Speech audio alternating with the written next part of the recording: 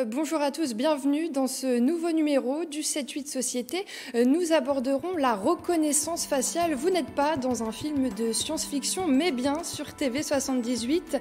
À l'heure de l'intelligence artificielle, la reconnaissance faciale devient un enjeu majeur pour la société, les entreprises et l'État. Une technologie qui fascine autant qu'elle interroge et parfois qui inquiète. Pour en parler avec nous ce soir, Didier Bécher, bonsoir. Bonsoir. Vous êtes député La République en marche de la première circonscription des Yvelines. Face à vous, Yves Chemla, cofondateur de United Biometrics, incubé sur le plateau de Saclay. Absolument. Merci, bonsoir. Bonsoir. La reconnaissance faciale est déjà dans notre quotidien. Certains d'entre vous déverrouillent son téléphone grâce à la reconnaissance faciale ou procèdent à des paiements bancaires. Avec l'intelligence artificielle, cette technologie a connu un fort gain en performance ces dernières années grâce au progrès des algorithmes liés à l'utilisation de l'apprentissage profond appelé deep learning et des technologies des capteurs. Didier Bécher, vous êtes rapporteur de la note scientifique sur les enjeux de la reconnaissance, authentifier ou identifier des personnes. Oui, effectivement. c'est, un sujet, donc en tant que vice-président de l'Office des sciences et technologies de, l'Assemblée nationale, sur lequel on a, souhaité se, pencher en particulier parce que on est typiquement dans une, technologie qui, à un moment donné, euh, à travers ses usages, euh, impacte directement le choix de société qu'on, aura demain ou qu'on voudra faire demain. Et donc, on a, souhaité, euh, avec ce rapport, en fait, faire un peu l'état de l'art de ce qui se faisait en matière scientifique, mais aussi des conséquences. Et donc, il nous a amené à à faire un certain nombre de recommandations très précises en matière d'expérimentation euh, et de consultation citoyenne euh, pour que euh, le débat puisse s'ouvrir assez largement sur ces sujets. Il y a des enjeux économiques, il y a des enjeux d'emploi évidemment. Nous avons des champions français et européens qui travaillent sur ces sujets-là. Et donc c'est important à un moment donné qu'on puisse se positionner. Les collectivités locales aussi, à un moment donné, avec la vidéoprotection, se sont posées ces questions, sont face aussi à des choix technologiques, de caméras, voire d'intelligence artificielle, de solutions techniques à un moment donné, elles sont un peu livrées à elles-mêmes, et donc c'était important de pouvoir se, positionner euh, maintenant. Sur le site d'Airbus à Elancourt, le groupe déploie une stratégie en tissant des collaborations avec des entreprises. C'est le cas avec United Biometrics, créé en 2014 et incubé sur le plateau de Saclay. Cette entreprise est spécialisée dans la sécurité des accès numériques avec de la biométrie, notamment la reconnaissance faciale. Comment ça marche, Yves Fiemla, ce système? Alors, ce qu'on a comme système, euh, bien sûr, pour l'utilisateur final, c'est un, pouvoir s'enrôler très facilement avec toute une chaîne de sécurité à l'enrôlement, parce qu'on ne peut pas, si on enregistre quelqu'un d'autre euh, par rapport à la personne euh, qu'on doit authentifier euh, par la suite, c'est un problème. Donc il y a une chaîne de sécurité très sophistiquée à l'enrôlement qui est mise en place au départ.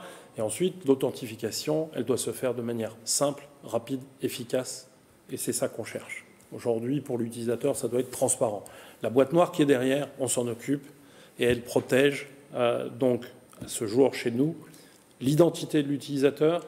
On ne sait pas qui vous êtes sur nos solutions et les biométriques que nous utilisons, quelles qu'elles soient, le facial entre autres, même s'il y a de l'intelligence artificielle, on ne pourra en aucun cas remonter au visage de la personne. Et c'est ça le but de United Biometrics, c'est protéger l'utilisateur final tout en donnant le résultat attendu aux banques, aux grandes entreprises qui veulent utiliser nos solutions. Et cette solution a été intégrée euh, dans les terminaux fabriqués par Airbus et peut-être dans les, futurs, euh, terminaux de la police? Alors, euh, il est bien évident que nous, nous avons travaillé avec Airbus pour intégrer nos technologies sur un de leurs terminaux qui à la fois utilise la bande police radio et donc les bandes classiques 3G, 4G, etc. Euh, donc nous avons intégré nos technologies dessus, libre à Airbus de vendre aux clients euh, nationaux euh, tels que le gouvernement, la police, les pompiers, etc. Alors, c'est un marché porté par l'augmentation des activités de lutte contre la criminalité et le terrorisme. Cette technologie, c'est une priorité pour le gouvernement dans ce contexte? C'est pas une question de, priorité par rapport à la sécurité. C'est-à-dire que souvent, et vous avez raison de le présenter comme ça, il y a des raccourcis qui sont faits en matière de reconnaissance faciale versus la sécurité, comme si la reconnaissance faciale ne servait que des sujets de sécurité. C'est un des cas d'usage. Euh, dans, dans, dans, le rapport et dans le travail que nous faisons euh, actuellement avec le gouvernement, on a identifié quatre cas d'usage très différents. Le premier cas d'usage, on parlait d'enrôlement, c'est-à-dire est-ce qu'un billet à un moment donné peut être dématérialisé, est-ce que votre visage peut devenir votre billet, soit pour rentrer dans un train, soit pour rentrer dans un avion?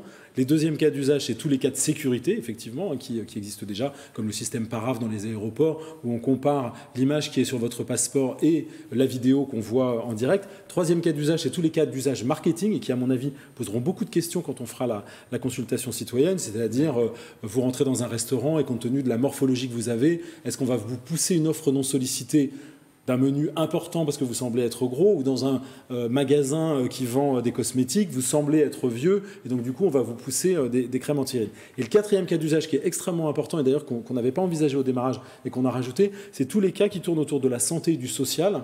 Donc la santé, c'est s'assurer qu'on a le bon patient quand on va faire une opération jusqu'au bout, et il y a beaucoup plus d'erreurs qu'on ne s'imagine. Et tous les cas qui tournent autour du social, c'est par exemple, si on encourage de plus en plus à vieillir à la maison, on sait qu'à un moment donné, on peut être dans une difficulté, peut-être perdre un peu la tête. Si jamais vous vous perdez en ville, vous pourriez de manière volontaire donner votre photo à un service municipal, par exemple, qui utiliserait de la vidéoprotection et de l'intelligence artificielle par-dessus, pour vous retrouver beaucoup plus facilement. Il y a des exemples qui ont été faits euh, dans le cas des expérimentations de la ville de Nice qui sont très intéressants. Donc il n'y a pas que des cas sécuritaires sur la reconnaissance faciale, je pense que c'est important. Il y a beaucoup de fantasmes aussi autour de la reconnaissance faciale, et l'idée d'expérimenter à plus grande échelle et de lancer cette consultation citoyenne avec la population, c'est aussi faire la pédagogie pour expliquer ce qu'est la reconnaissance faciale et ce qu'elle n'est pas. Nous ne sommes ni aux États-Unis, ni en Chine. Nous avons des protections euh, des libertés individuelles en France et en Europe qui sont très importantes. Et on ne peut pas se retrouver dans la situation des États-Unis ou de la Chine qui sont souvent comme pris, qui sont souvent pris comme mauvais exemples auxquels, encore une fois, nous ne, nous ne pouvons pas nous rattacher. Alors justement, que pensez-vous de la reconnaissance faciale? Nous avons posé la question aux Yvelinois. Écoutez. Moi, ça me va bien puisque j'ai le téléphone qui va avec, donc euh, je m'en sers et ça marche très bien. Ça facilite les choses? Dès que tu prends ton téléphone, tu le sors et c'est bon, tu es déjà dedans. Je trouve que c'est bien aussi de déverrouiller avec un code. On n'est pas obligé euh, de montrer sa tête pour déverrouiller un téléphone. Ça sert à rien de faire des, des technologies qui n'ont pas de but. Ça dépend si on est fiché après avec ça. Les données personnelles, ben, des fois, elles sont utilisées, justement revendues, donc le, ça peut être le danger en fait. Si je me fais piquer mon téléphone, le voleur aura plus de mal à l'utiliser ou même à le revendre. Pour moi, personnellement, ça n'a vraiment pas un intérêt un intérêt particulier. On met de plus en plus d'infos et de données euh, personnelles sur le, nos téléphones, donc euh, forcément la reconnaissance, la reconnaissance, faciale, ça peut être euh, utile. Je suis très inquiet. Ça peut être euh, dans des régimes totalitaires un moyen extrêmement monstrueux de, de savoir où, où sont les gens, qui sont les gens, ce qu'ils font. Ça peut être une atteinte à la démocratie. Une réaction oui, c'est une grande maturité en fait. C'est intéressant ce que les, euh, les, les, gens que vous avez interviewés disent. Euh, on a fait un sondage avec l'IFOP pour Renaissance euh, numérique, donc on peut retrouver le, le détail de, de, ce sondage sur le site de Renaissance numérique. Et ça montre en fait qu'il y a une très grande connaissance de, la reconnaissance faciale. Tout le monde a un avis sur la reconnaissance faciale. Par contre, quand on creuse un peu dans le détail, on voit que ça soulève un certain nombre de questions sur la future société que nous voulons. Et là, souvent on mélange un petit peu tout et encore une fois euh, on pousse beaucoup pour qu'il y ait cette consultation citoyenne effective qui soit, qui soit lancée par, euh, par le gouvernement pour que tout un chacun puisse euh, bien comprendre les quatre cas d'usage dont je parlais tout à l'heure, bien comprendre comment on protège les libertés individuelles et les données biométriques aujourd'hui en Europe et en France, hein, parce que c'est un sujet qui est éminemment européen et qui n'est pas uniquement français. Et si on veut faire le poids face aux États-Unis et à la Chine, c'est important que ce soit un sujet euh, européen. Donc là, il y, il y, a, énormément de choses qui sont en train de se mettre en place.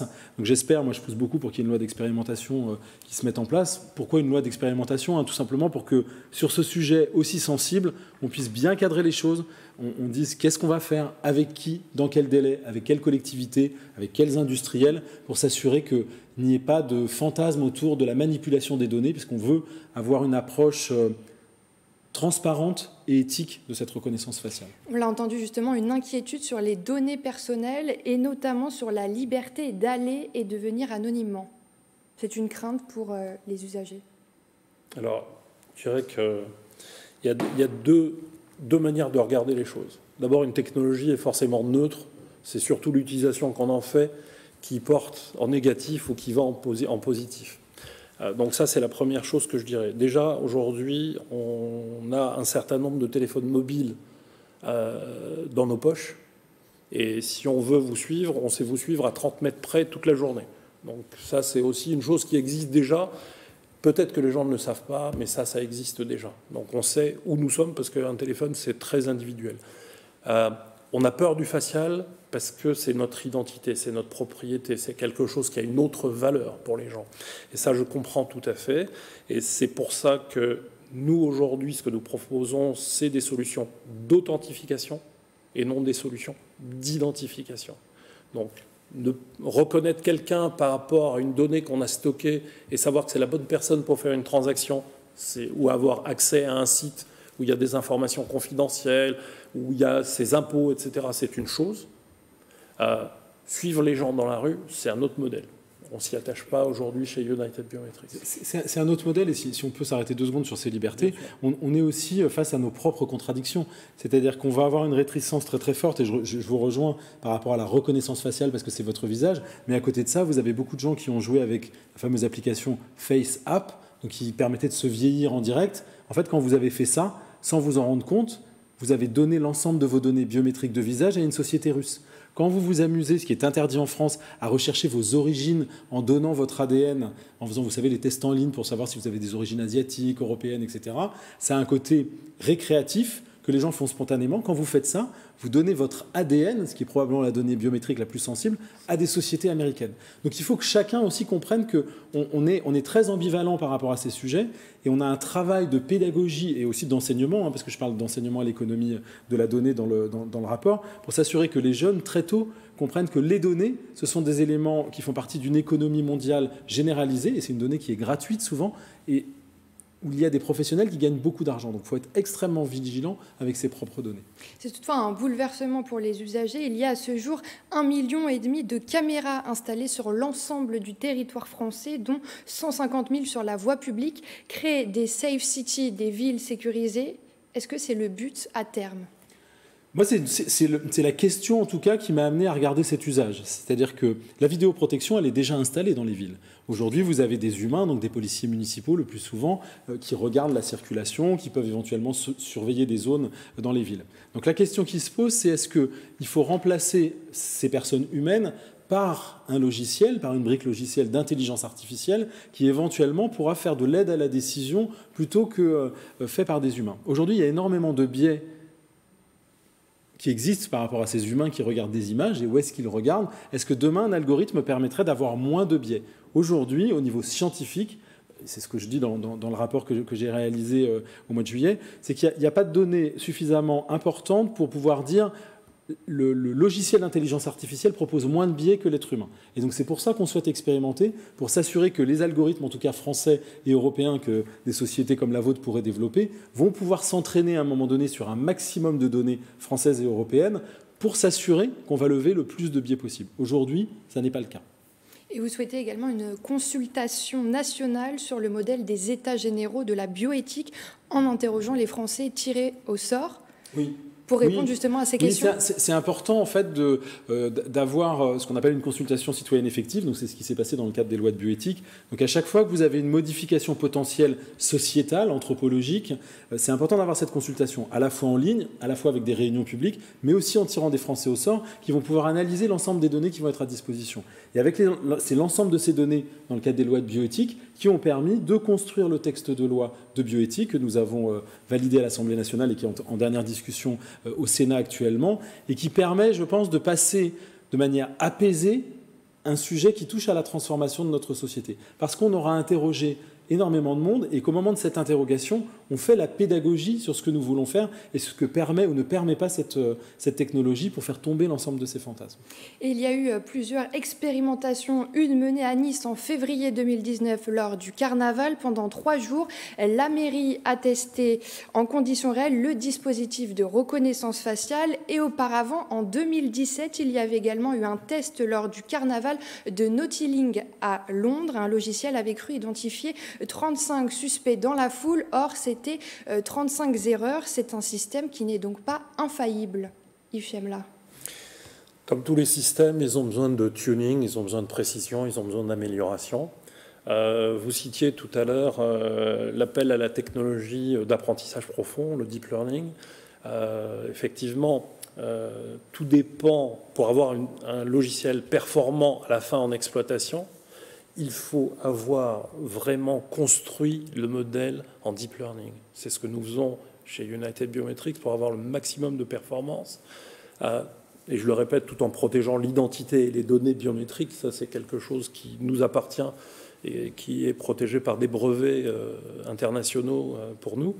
Euh, en fait, si la solution de deep learning est mal faite, si on n'a pas passé suffisamment de temps à donner, à manger à ce moteur d'apprentissage, d'accord, c'est-à-dire qu'on a, il a acquis des compétences, et plus on va lui faire acquérir de compétences, plus il va être performant en exploitation.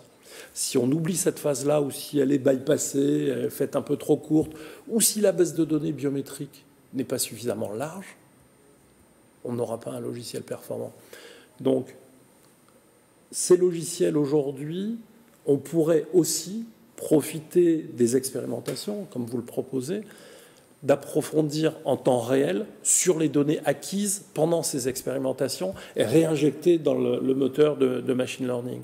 Euh, ces informations pour les retraités, avoir à la fin un logiciel qui fait ce qu'on lui demande, pas plus. À nous, après, entre le législateur et les industriels, de trouver les fonctionnalités du logiciel adaptées à ce que veut la population et ce que veut la réglementation locale, française et européenne. Donc pour que ça soit plus fiable, il faudra de plus en plus de données. Euh, Didier Bécher, vous ne craignez pas une pression des industriels?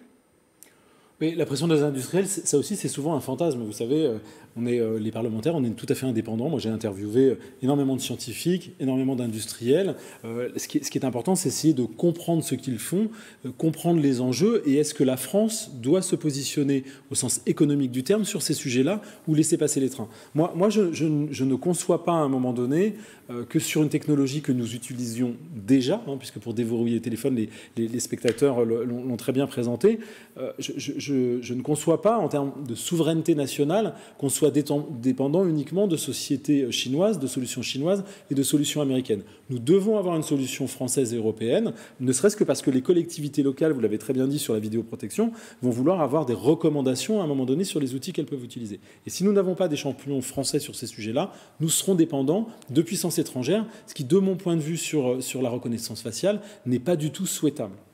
Alors justement, vous parlez de puissance étrangère. La zone Asie-Pacifique s'impose comme la région du monde où sa croissance est la plus rapide avec la Chine et l'Inde en tête. Le comité d'organisation des Jeux olympiques de 2020 qui auront lieu à Tokyo prévoit d'utiliser des portiques dotés de dispositifs de reconnaissance faciale afin de contrôler justement les accès réservés aux joueurs, aux membres du personnel et aux journalistes. En France, est-ce que ça peut être le cas?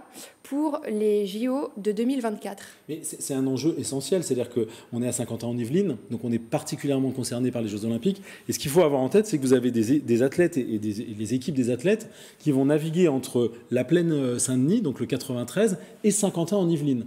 Donc si vous voulez avoir un flux euh, pour que, pour que l'accès en fait aux manifestations soit correct, ça me semble très très compliqué de ne pas avoir une solution de reconnaissance faciale sécurisée qui soit proposée. Parce que quand vous allez commencer à prendre les transports entre le 93 et le 78, il risque de se passer beaucoup de choses. C'est pour ça que Tokyo a, mis en place cette solution de facilité. Donc si nous, on, souhaite être au même niveau que les Jeux Olympiques de Tokyo, il faut encore une fois que cette, cette expérimentation ait lieu et il faut qu'on fasse travailler la, la reconnaissance faciale, les logiciels de reconnaissance faciale français et européens pour proposer notre propre solution. Et ça sera possible d'ici 2024, euh, vous pensez, Yves Chemla? Sans problème. Sans problème, les solutions fonctionnent déjà. Euh, aussi bien chez moi que chez nos concurrents, donc elles existent. Il y a déjà des solutions qui existent pour euh, le boarding pass automatique quand vous rentrez dans un avion je parle de la concurrence, hein, je ne propose pas ce type de solution, mais on, suit quand même l'activité, euh, on, a, bien ce genre de reconnaissance automatique. On pourra peut-être associer un groupe de billets à la personne qui l'a acheté, ou si elle ne veut pas qu'il donne une délégation de pouvoir à une personne qui va amener le groupe pour prendre la place dans un stade, il faut qu'on ait un maximum de sécurité sur ces événements. Je ne voudrais pas rappeler les malheureux anniversaires qu'on vient de passer sur ce qui s'est passé euh, au Stade de France et, euh, en France euh, il y, a, 4 ans maintenant. On ne peut pas se permettre d'avoir ce type d'événement sur un événement mondial de cette taille. la sécurité, oui, faites n'importe comment, certainement pas.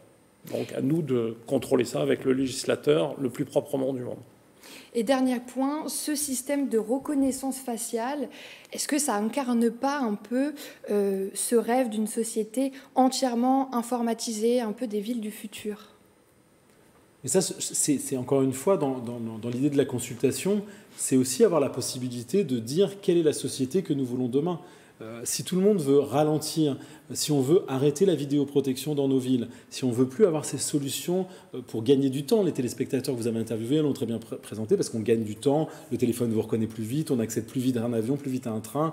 Euh, bon, mais c'est un choix, encore une fois, de société. Moi, je ne suis pas, euh, en tant que parlementaire, là pour dire si c'est bien ou pas bien. La technologie permet de le faire. Maintenant, est-ce que nous souhaitons utiliser les éléments les plus positifs de cette technologie et de s'assurer qu'effectivement, en France et en Europe, nous ne construirons pas une société de la sécurité et de la surveillance généralisée, ce qui est le cas euh, probablement en Chine. Donc, pour se défendre par rapport à ça, nous devons construire notre, ce que j'appelle la voie française, la voie européenne, et construire cette euh, reconnaissance faciale avec de l'intelligence artificielle à la fois transparente, ça veut dire transparente, on sait ce qu'il y a à l'intérieur en termes de, euh, de, briques logicielles, et éthique, donc qui ne va pas aller au-delà des principes que les Françaises et les Français auront choisis pour la société de demain. Et vous ne craignez pas une fracture du numérique à un moment donné? Ce n'est pas la reconnaissance faciale qui engendrera la fracture numérique. La fracture numérique, c'est un, un, un sujet en soi. Hein, on le voit bien sur l'accès, euh, ne serait-ce que pour payer ses impôts en ligne. Hein. On voit chaque année, il y a des difficultés et il faut, c'est pour ça qu'on crée les maisons France Service, hein, pour que partout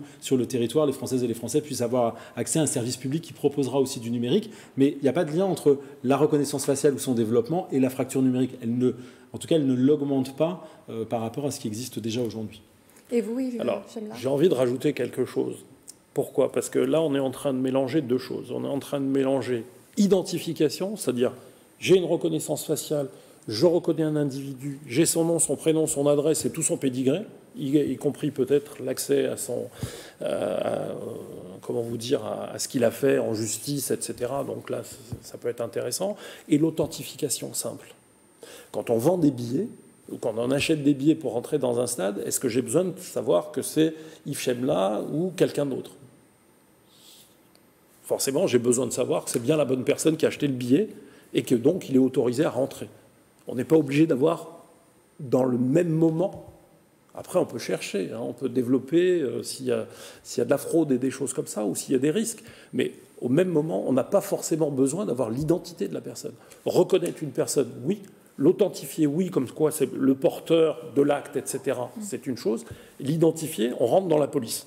Donc, à nous de gérer l'éventail de la solution et de couper là où on a besoin. On n'a pas, besoin de pas besoin de développer tout et de suivre tout le monde en permanence. Enfin, c'est ce que j'aime ramener dans le débat. Hein. il faut redire aux gens qui nous écoutent qu'en France, ce qui n'est pas le cas aux États-Unis et, et en Chine, ce qui nous différencie très largement, en France, pour pouvoir accéder à l'ensemble de ces données, il faut une commission rogatoire. Donc il n'y a qu'un juge aujourd'hui qui peut demander à une ville ou à la RATP ou à la SNCF ou à un aéroport, peu importe, à avoir accès à des données vidéo. Ça ne peut être que dans le cadre d'une enquête, parce que dans le cadre d'une enquête, on a les empreintes digitales, la photo de quelqu'un. Donc c'est uniquement un juge qui peut faire ça. Il ne s'agit pas du tout de déroger à ça un jour. On, souhaite rester dans, dans ce cadre-là et que c'est un, un, juge, dans le cadre d'une enquête criminelle, judiciaire à un moment donné, qui peut demander euh, l'accès à des données personnelles ce qui n'est pas le cas aux États-Unis et, en Chine. Hein, je prends souvent l'exemple des États-Unis. Aux États-Unis, quand vous avez 15 ans, vous passez votre permis de conduire, il y a une photo sur votre permis de conduire, l'État fédéral aspire la photo du permis de conduire sans jamais vous demander euh, votre avis. En France, ça n'existe pas et en Europe, ça n'existe pas, bien heureusement. Je dirais que la protection des personnes est très intéressante. La reconnaissance faciale donne une dynamique, euh, comme on, l'a cité euh, plusieurs fois, tout de suite sur le fait qu'une personne puisse être reconnue facilement, ça fluidifie euh, les accès, les trafics, etc. Et encore une fois, je reviens, un, sur la protection des données personnelles, deux, la protection de la biométrie elle-même. Comment cette biométrie elle est stockée? Où est-ce qu'elle est stockée? Comment elle est traitée? Ça aussi, ça, porte des avantages dans nos solutions où les données sont non pas laissées brutes, mais complètement transformées et de manière irréversible. C'est-à-dire que ce que nous stockons, nous, sur nos machines ou, ou même sur les téléphones Airbus sécurisés qu'on a vus, c'est une donnée transformée. Aujourd'hui, nous n'avons pas envie, euh, par exemple dans le cas d'Airbus, si on donne ça aux militaires ou si on donne ça à la police, que la personne qui s'authentifie sur une base de données quelconque ou même sur un réseau, on sache que ça soit un général, le président de la République ou un chef de groupe de la police. nous, ce qui est intéressant, c'est de bien voir que cette personne a l'autorisation de faire et donc elle est authentifiée pour ça. Merci, la distinction euh, est passée. Merci, messieurs, pour votre participation. C'est la fin de ce 7-8 Société. Très belle soirée sur TV78.